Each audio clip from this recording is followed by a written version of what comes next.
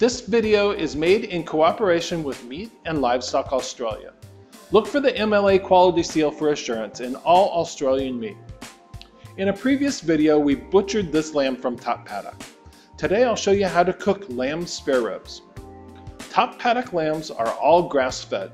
They're from southern Australia and they're raised naturally with no added hormones or antibiotics. Now for this recipe, you're gonna need two cloves of garlic minced. You're also gonna need two sprigs of fresh rosemary, herbs de Provence, balsamic vinegar, 80 ml. We're also gonna use olive oil, about 25 ml, 80 ml of honey. When we get to cooking, you're gonna need some aluminum foil, and also you'll need some fresh cracked black pepper and sea salt.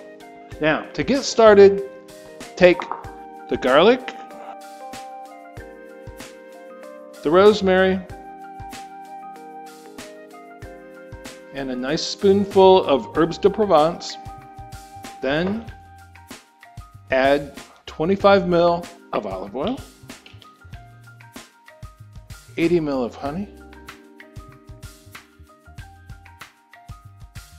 and about the same amount of balsamic vinegar. Give this a good stir just to incorporate the honey in with the acid of the vinegar. Doesn't really make that much difference if it's all homogenized, but just so that it's lightly mixed. Then take a zipper bag, put your two racks of ribs into that zipper bag. And pour this mixture right straight in.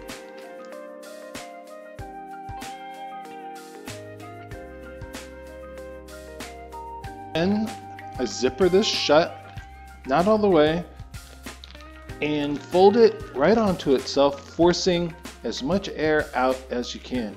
Then finish the zip and give these ribs a good massage. Then into the chill chest it goes.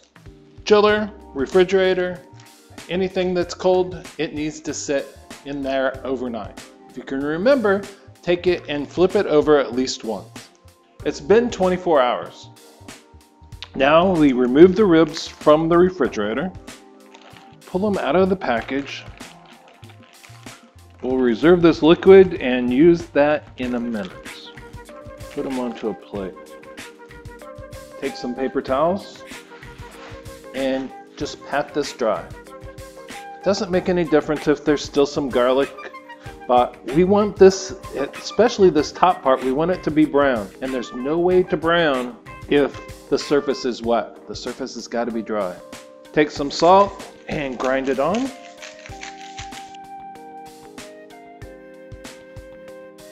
Both sides.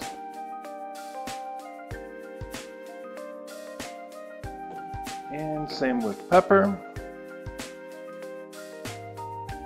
Then take your saute pan and get it heated up. Put it on medium high. Just lightly film the um, inside of this pan with some vegetable oil. Let that oil heat up just briefly. And then one by one, take these ribs and put it right in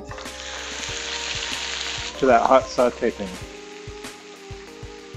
Now while those are sauteing, preheat our oven to 130 degrees. I chopped up one whole bunch of mint leaves. Then on top of that, I have just some standard mirepoix. That's some onions and celery.